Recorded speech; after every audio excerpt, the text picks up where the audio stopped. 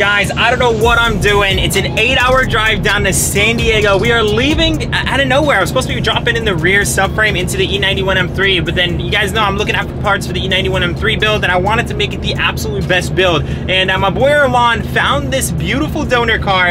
Um, when I mean donor car, I mean we're gonna save this car, but we're also gonna be modifying your E91 with this car. It's basically a donor car, but also a flip. So it's one of those unique things and that's the reason why I'm driving eight hours. I'm hoping that this guy is a good person and he's not gonna sell beneath me um, because if I drive eight hours and he sold the car, that's gonna suck. But anyways, we are making the trip down right now and uh, basically we're picking up another M3, but this one is the most desirable spec. Just don't put it out there. Like honestly, such a clean spec and that's why I'm rebuilding it. But the parts on it, it, it that car doesn't need it. Our E91 M3 does and I'll show you guys exactly what I mean once we get there. So with the power of editing, you guys are about to see this car hopefully in, in about, you know, in, in, about a few minutes for me, uh, eight hour drive. But I, I wish I was you guys in this situation because I wish you guys were driving and then I can see what's going on in three minutes. But I'm bringing it to you guys. So if you guys would do me a favor and smash that like button, that would mean the world.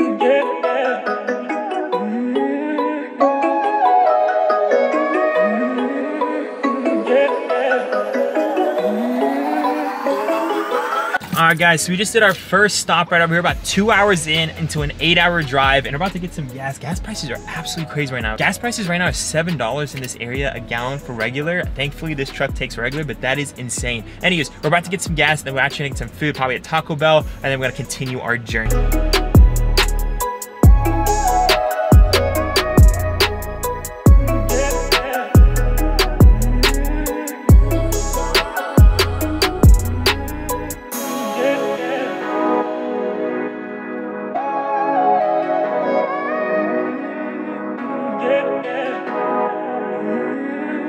All right, guys, so we just got our XX large extra mild drinks. We're heading right now to Taco Bell uh, just to get ourselves, you know, a breakfast slash lunch.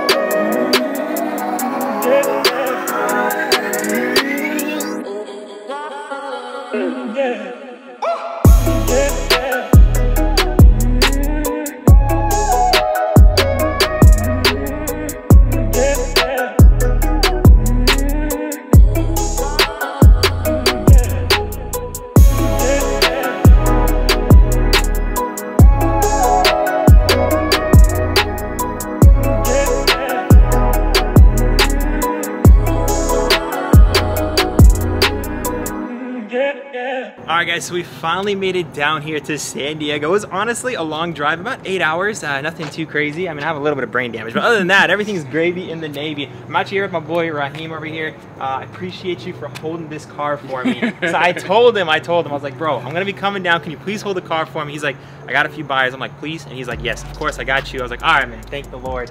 Um, we ended up picking up this E90 M3. This one's actually not a normal one. This one actually has a supercharger on it um, that I was very shocked to see. That is the main reason we're honestly getting this car. We're gonna be using it towards the E91 M3 project and then possibly, um, because I know you wanna see it possibly come back to life, uh, we possibly will try to save it. Um, the damage to the block was a lot worse than I thought. I thought it was something minor. so, yeah, yeah. But um, as you guys can see as well, this car is wrapped. Um, I actually uh, did a little bit of wrapping myself, but uh, he does wrapping for a full-time job, full-time career here at San Diego. Came from Hawaii, right? Yeah. So it's kind of cool. Um, this this car is actually from Hawaii as well. Yeah, it is. And you brought it all the way here. Yeah, it was my baby. Um, project car, you know, I did what I could on it, held on to it for as long as I can, but Practice the skills on here. yeah. But now you do It was it one of my first wraps, actually. first wraps. How long Um, ago was this? By, it was about a year, year and a half ago. Um, it was by uh, Tiny Bot. Tiny Bot. Um, That's the brand Shadow. Shadow Black Camo. I do uh, wrapping here in the San Diego LA area. Sometimes I do mobile wraps, like I'll come to your house, I could do a hood or something small like that. Um, I also do full wraps um, back at my house and stuff like that. I do detailing, so we could do paint correction. I do auto body work. I'm platinum certified in ICAR. So yeah, I also wrap motorcycles too. So for you guys who want your bikes wrapped or your helmets wrapped, I do helmets. I mean, you can wrap anything. Wrap computer desks, anything. Just let me know. You know, you can wrap so it. his Instagram is gonna be linked down below. It's actually how I found him in this car. Basically, I hit him up through his Instagram. Um, and uh, yeah, I mean, if you guys want to contact him in any way, uh, honestly, Instagram's probably the best method, right? Yeah, and my Instagram is RJ Custom Wraps. I'll have it linked down below so it's easier for you guys. But uh, yeah, bro, I mean, I appreciate it. It is late at night, bro. I'm sorry for bringing you out here. no, man, I'm just happy that's going to to a good home, so. I mean, you're gonna see lots of videos on it, so I'm excited about it. And uh, again, bro, I appreciate you. Of course, man. All right, bro, take it easy. All right, man. Guys, we just made it to our first hotel stop. It has been a long night. I can't even function. It's been a long drive, a long night. Um, officially, uh, probably about nine and a half hours of driving. We finally have the car right here. Um, we are at Hyatt Hotel, and I'm just gonna hope to God they have a room available because I'm really trying to spend the night before we actually have to head back. I was gonna try to make it back today, uh, but honestly, I don't think that's possible. So let's see if they got a room for us. We could go ahead and sleep and then head back tomorrow. And again, I can show you guys uh, the new beast to the collection. Guys, just got inside the elevator. I tried booking a room, and since we are booking it after 12, we weren't able to book it for the night. Long story short, I had to call them. I almost had to sleep in the car tonight. Thank the Lord, you can actually get this stuff sorted over the phone. So that worked out. Let's go ahead and get into our room. I'll probably just see you guys tomorrow morning. I am so exhausted. Alright guys, we got the car chilling. Let's go ahead and head home and I can show you guys why I ended up picking up this beast all the way here in San Diego and why I couldn't pass up on it. Guys, we're just trying to make it home. We're finally here at a Costco gas station, trying to hit at least one Costco gas station before we get home. We're spending probably like five to $600 in gas on top of the, getting this car. Um, so hopefully, hopefully we can get some fuel, no issues. The stressful thing is with a trailer, trying to get gas at Costco. I always feel bad. Um, so we got to figure out the best way to do it where it's efficient and it's not bothering other people. That's just the best way to do it. And then get some gas and head on our journey because I want to show you guys the reason why we got this car. Uh, I just want to show you guys when we get home.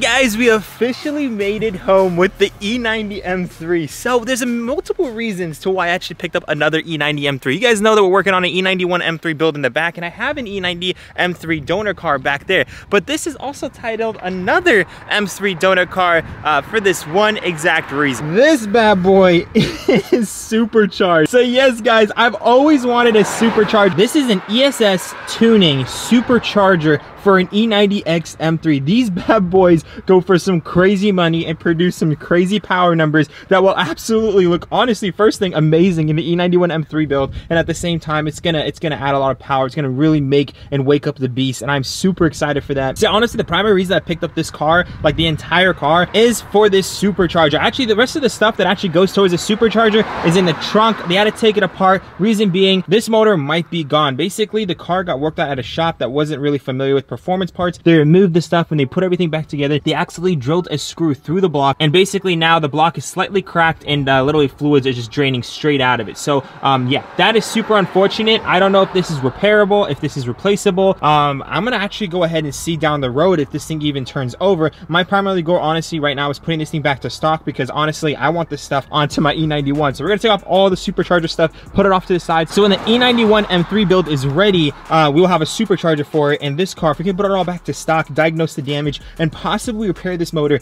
that would be pretty awesome. So yeah, this car serves two missions. First off, a restoration build. We're gonna try to restore this thing back to factory, mainly because this bad boy is a clean title. It has the Alpina white paint, which I absolutely love, and this bad boy has the single hump manual transmission.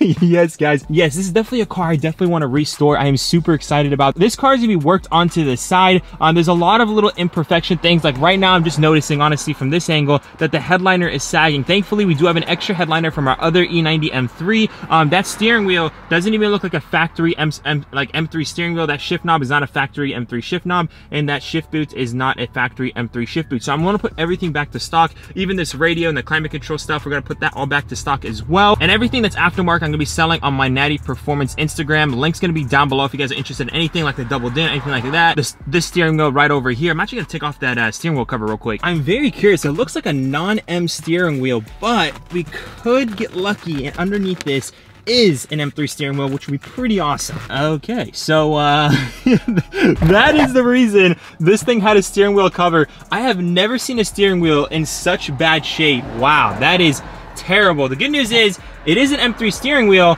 As you guys can see by the stitching over here, the leather, it looks like they just kind of put like a steering wheel trim piece on here or something. I don't know exactly what's up with the steering wheel, but we're gonna have to remove it. We're gonna have to replace it again with the shift knob shifter. Um, right over here as well, there is some P3 gauges. Uh, I do think this is also painted. I'm gonna go ahead and repaint these black, but we have some P3 gauges. We're gonna be moving on to our E91 M3 build. So yeah, a lot of cool little modifications on this car, and we're gonna be putting this thing back to stock. We're gonna be unwrapping the car. It has some Apex Arc 8s, 18 inch, wrapped in some Michelin tires, brand new tires in the rear, brand new wheels in the rear. So it's very, very, very exciting stuff over here. Long, long story short, guys, I drove eight hours on literally like, uh, like literally out of nowhere. I just woke up. My boy Alon sent me the link to this car. I hit up the owner. The owner was super cool, super nice. Basically told me that, um, yeah, he has a supercharger in this car. Um, and unfortunately, uh, the car ended up not being drivable because there's like a hole through the block or something, or the block is cracked. And I had to get this thing towed all the way over here. Uh, but end of the day, for the price we got it for, we got a supercharger Charger, we got some Apex wheels, we got some P3 gauges, and some other little cool modifications we're transferring over to our E91 M3 build because we're gonna make the best build possible out of that E91 M3. And this bad boy, and this bad boy, we're gonna go ahead and rebuild it and use this money towards our R8 build hopefully by the end of this year. You guys know I'm on a mission and not only building a beautiful E91 M3 by the end of this year, but also the goal by the end of this year is to get an Audi R8. So this bad boy is gonna be serving two purposes and I'm very, very, very excited to show you guys the journey on restoring this E90 M3. Also those tail lights, I'm probably gonna go back to factory tail lights. Again, everything on this car, guys, I wanna put back to absolute factory, factory wheels. We're gonna take those wheels, we're gonna put it on my car. It has KWs, so we're actually gonna take the KWs, put it on the E91, and put this back to stock suspension. This thing is gonna be 100% stock by the time we're done with it. Hopefully the paint underneath this wrap is in good shape as well, because I wanna unpeel it. I absolutely love white factory BMW paint, so I'm hoping it's in good shape. Little things like this, the carbon fiber mirror cap, are honestly probably gonna leave it on the car, because they don't honestly look that bad. Um, this is a carbon fiber spoiler, has some decals on, I'll probably take off the decals,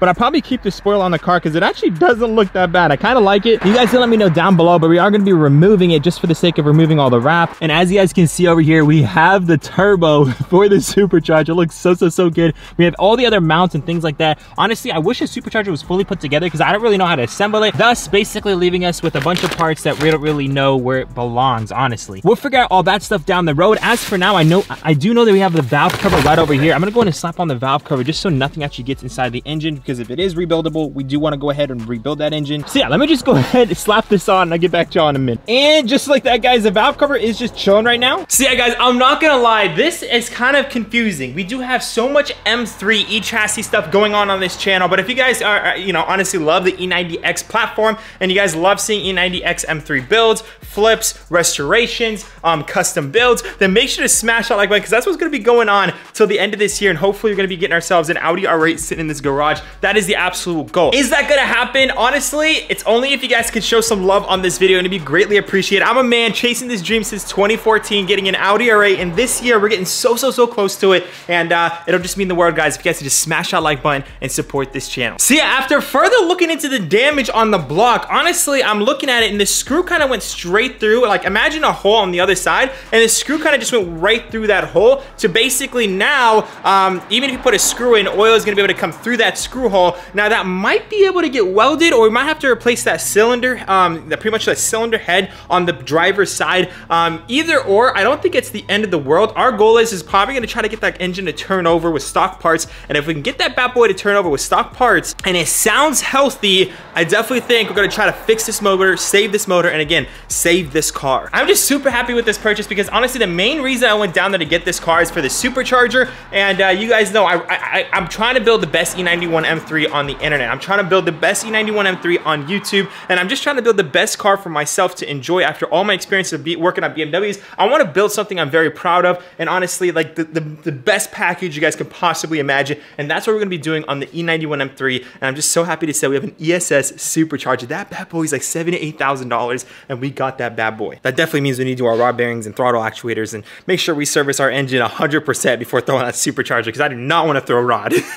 but anyways, guys, that is gonna have to conclude this video. If you guys are excited to see the restoration episodes on that E90X M3, make sure to smash the like button because I'm gonna be working in the back scenes on the E91 M3. Um, not in the back scenes, I'm gonna be filming that. There's gonna be some episodes on that, but a little bit of change. There's gonna be some restoration on that. This is gonna be a lot more fast paced. I'm gonna try to actually unwrap that car, put back stock wheels, put back stock suspension as soon as possible, and just get this thing off the trailer on the ground. And while we're taking things off, like I'm saying, we're gonna be modifying and upgrading and building our E91 M3 in the backyard. So yeah, if you guys are excited to see a brand new series on this channel of restoring a BMW back to factory OEM spec, make sure to smash like button because I know I'm super excited. So without further ado, guys, I love y'all so much. Remember to stay humble. I'll see y'all on the next one. Peace out.